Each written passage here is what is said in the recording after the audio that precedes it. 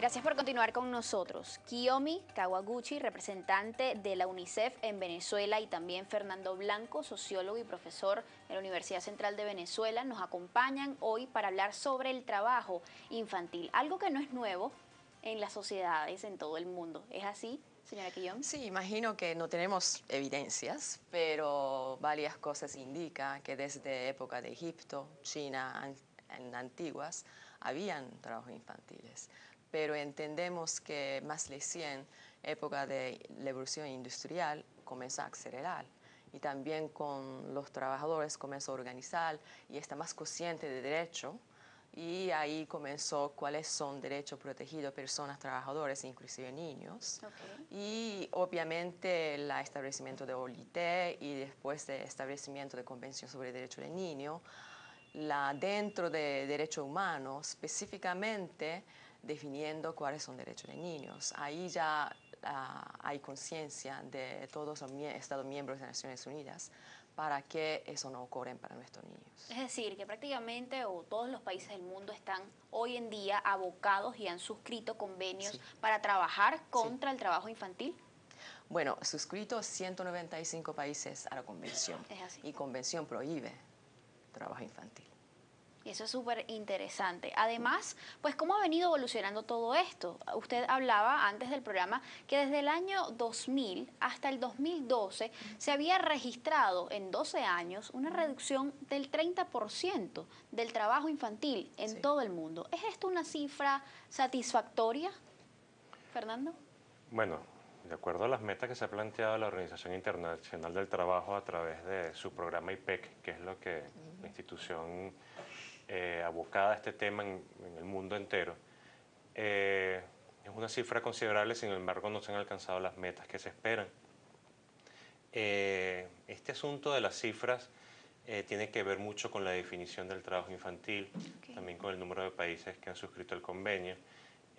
a nivel regional, por lo menos, los países más afectados son los países de Centroamérica, donde las cifras de trabajo infantil, las tasas de trabajo infantil rondan entre el 20 y el 30%, con países como Bolivia, por ejemplo, que acaba de, si se mm. quiere, contravenir las convenciones internacionales sobre eh, regulación del trabajo infantil y ha reducido la edad mínima a, 12 años. A 12 años cuando lo que establece la OIT, la recomendación general que hace la OIT es de 15 años. Eh, Bolivia ha reducido esta edad a 12 años y Bolivia tiene cifras, por ejemplo, de 28%, tasas de 28%. Entonces, esto es un asunto que hay que mirar con lupa, vieran cómo la desigual distribución de los niños trabajadores en el mundo, porque no se presenta de igual forma en todas partes. Ahora, digamos, la región latinoamericana es la segunda que presenta quizás mejores cifras en este tema de trabajo infantil. ¿Qué regiones del mundo tienen este problema mucho más agudizado? Asia y Pacífico, seguido por África subsahariana. 79 millones en Asia-Pacífico y 59 millones de niños adolescentes trabajando en África subsahariana. ¿Y qué ocurre allí para que estas eh, regiones pues lideren las cifras de trabajo infantil en el mundo?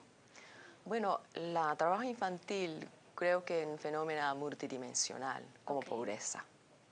Entonces, eh, una analogía semejante con pobreza, cómo ocurre pobreza, ¿no? Y cómo ocurre trabajo infantil.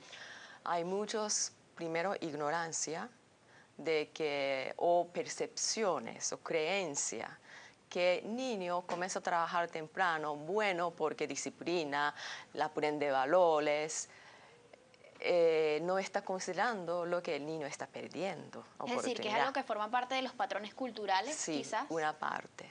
Y también condición económica cuando familia pobre y tiene dos trabajadores, quiere más cuando niño llega a edad para contribuir la ingreso de familia. Eh, todas estas cosas, ¿no? Y también quizás hay algunos trabajos también conviene eh, menores que trabajan en tipo de trabajos que su tamaño es pequeña, es más conveniente para movilizarlo, manos que pequeñas que trabajan algunas cosas más detalladas, eso cosas más específicas industrial.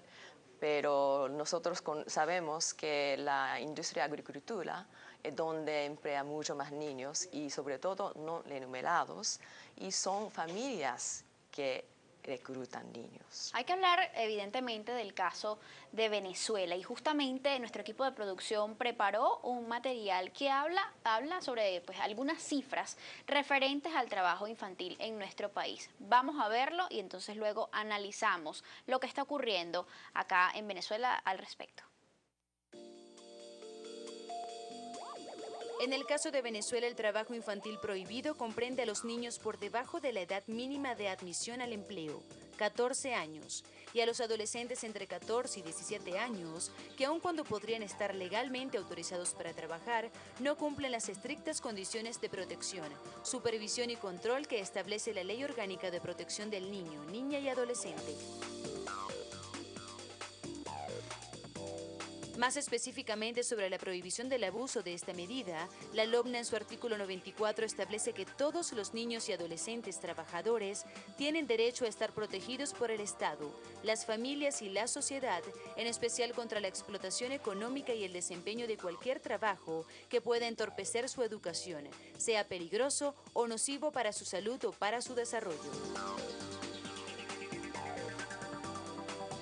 Las últimas cifras difundidas por el Fondo de las Naciones Unidas para la Infancia, UNICEF, en 2010, muestra a Venezuela como el país con la menor tasa en el continente con esta problemática.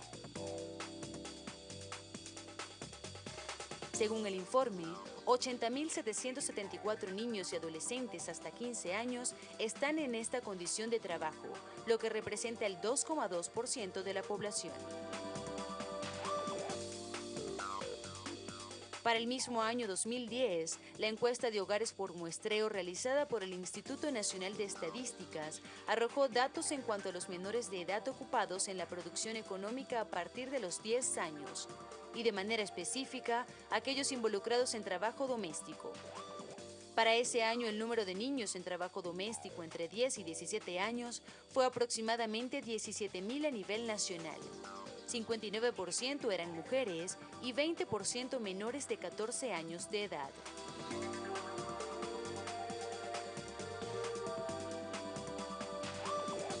El trabajo doméstico infantil representó el 6,0% de los cerca de 285 mil menores de edad ocupados en actividades económicas, 3,3% en el caso de los niños y 13,2% en el caso de las niñas.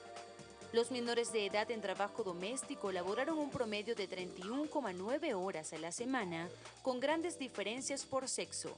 38,4 horas las niñas y 22,5 horas los niños.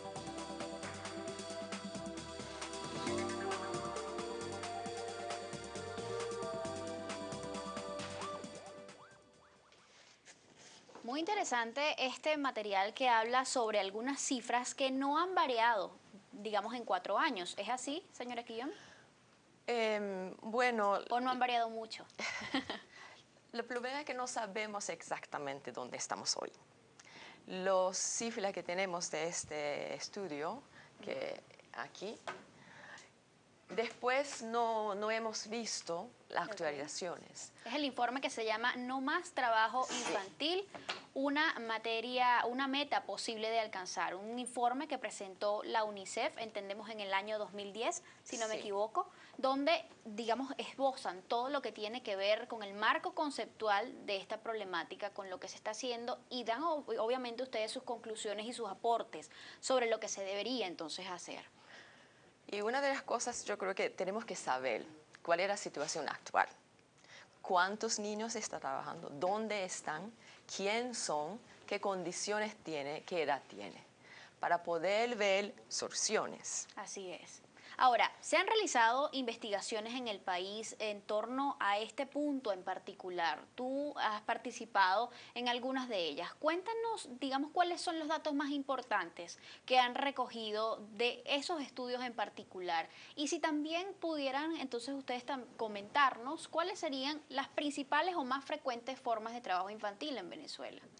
Sí, el Centro de Investigación Social CISOR, eh, que dirige el padre Alberto Brusón, eh, lo largo de los últimos 7, 8 años, gracias al apoyo recibido por Fundación Telefónica de Venezuela, he realizado un conjunto de investigaciones sobre trabajo infantil, desde el trabajo infantil en mercados populares, eh, investigaciones investigaciones relacionadas con el avance escolar de los niños que trabajan, investigaciones sobre las peores formas de trabajo infantil, por ejemplo, en vertederos de basura, el trabajo infantil rural. En estas investigaciones, básicamente, hemos hecho también investigaciones para recabar cifras, y el asunto de las cifras en Venezuela, a diferencia de otros países de la región, Venezuela no dispone de un instrumento estadístico que permita eh, recoger exactamente o con la intención de ir a buscar exactamente trabajo infantil. Lo hacemos en Venezuela a través del Instituto Nacional de Estadística y la encuesta de hogares por muestreo, que tiene muchas limitaciones. ¿Como por ejemplo? Por ejemplo, la definición que hacen de trabajo infantil o, de trabajo de menores de edad. el Instituto Nacional de Estadística define como trabajo eh, de menores de edad cualquier actividad eh, productiva realizada fuera o dentro del hogar por la cual eh, un niño de 10 a 17 años va, pueda obtener una remuneración en metálico o en especie. Esta definición de trabajo infantil, para empezar, que no se asemeja para nada a lo que es la definición internacional que se hace de trabajo infantil. Y por tanto ya por allí las cifras pueden, pueden tener eh, eh, un sesgo.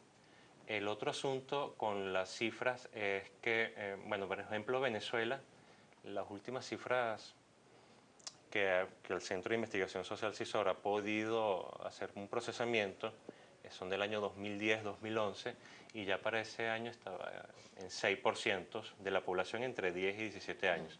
Esa cifra se ha mantenido más o menos estable desde el 2005 a esa fecha. Al 2012. Al 2011. 2011. Eh, mm, ha variado de entre 1 y 2 puntos porcentuales. Eh, sabemos ya por estudios previos que este asunto del trabajo infantil o de la participación de los menores de edad en actividades productivas se incrementa en periodos de crisis económicas. En, por ejemplo, en el año 2002, en el año 2005, donde se vivió una situación política difícil en el país que afectó la economía, esos años repuntó el trabajo infantil. Entonces podríamos eh, suponer que en los actuales momentos que vive el país eh, quizás esa tasa esté subiendo, pero no lo podemos afirmar con contundencia. Porque no hay estudios que quizás mm, la, den esas estadísticas. Eh, hay que hacer procesamientos especiales del Instituto Nacional de Estadística para saber la cifra exacta. O sea, no, el Instituto Nacional tiene la cifra allí, pero hay que hacer un procesamiento especial. Y eso, bueno, requiere su tiempo y su trabajo y que el instituto facilite las, las bases de datos. Ahora, según este informe que presentó la UNICEF en el año 2010, ¿cuáles serían los factores que están definiendo o motivando el trabajo infantil en nuestro país? Bueno, la pobreza definitivamente y la con falta de conocimiento, ¿qué y cómo impacta niñez y adolescencia para poniendo ellos en situación de trabajo infantil. ¿Qué riesgo, qué daño tiene? ¿Cuál es el costo para ellos y costo para familia y costo para sociedad. Esos son la... y también, como hablamos, un padrón cultural, ¿no? Valores que aparentemente pensaron que trabajo es mejor que no está haciendo o jugando. Pero el niño tiene derecho de jugar, la hace él, y crecer de esta manera. Falta de empleo quizás de calidad, bien remunerados para los adultos, pudieran también ser un, factor determinante claro, Exactamente. Y aquí en Venezuela tiene varios mecanismos de protección social. Entonces, protección social compensa la, este tipo de situaciones. Entonces, parte del Estado que ofrece este programa y la familia, quizás alguna familia desconoce existencia de estos programas. Entonces, tanto familia, responsabilidad de familia y responsabilidad de Estado debe ir en mismas direcciones para disminuir trabajo infantil, concientización, abogacía, comunicación. Ustedes pueden contribuir todos estos medios para comunicar las personas que trabajo infantil no es una manera más eficaz de aumentar el ingreso familiar ni la, aumentar el futuro ingreso familiar para los niños. Okay.